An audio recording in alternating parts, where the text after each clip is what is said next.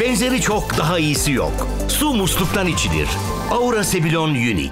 Bir son dakikayla başlayalım değerli izleyiciler. Milli İstihbarat Teşkilatı'nın PKK'ya, KCK yönelik operasyonları devam ediyor. Hem sınır ötesinde hem yurt içi yurt dışı her yerde Milli İstihbarat PKK'yı ön- önemli isimlerini yok ediyor değerli izleyiciler. Son olarak da Milli İstihbarat Teşkilatı e, PKK'nın Mahmur Kampı Sözde Genel Sorumlusu Adıl Mardin Kod adlı Azad Akıncı'yı Irak Mahmur'da düzenlediği operasyonla etkisiz hale getirdi değerli izleyiciler.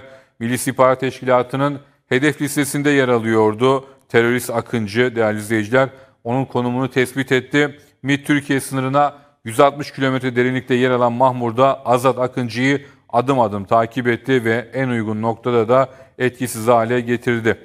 2006 yılından bu yana Azad Akıncı isimli PKK'lı terörist PKK içerisinde e, faaliyet gösteriyordu. Örgüt adına e, terör suç işlemek, faaliyette bulunmak, propagandasını yapmak gibi e, görevleri vardı ama bu suçlu ayrıca bu tür suçlardan da cezaevine tutuklanmıştı.